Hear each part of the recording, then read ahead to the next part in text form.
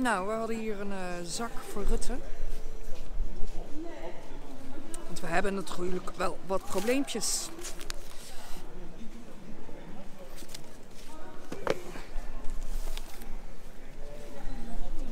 De zorg, wat natuurlijk een aanfluiting is. Het stikstofprobleem, wat blijkbaar geen probleem is, want het is er niet. Ik had hier een. Wij willen toch dat bindend referendum. Rutte die zegt, daar kan je naar fluiten. Ik vind het niks. Die vindt het pure onzin, een bindend referendum. Dus dat weten we dan. Nou ja, dit ken natuurlijk ook niet. Het ziet er zo raar uit in die kamers. Of dat we ze betalen om een beetje rond te twitteren. En natuurlijk eh, deze. Elektrische auto's. Eh, nou ja, dan heb je net een elektrische auto onder je komt en dan mag je 80 gaan rijden. Goed bezig.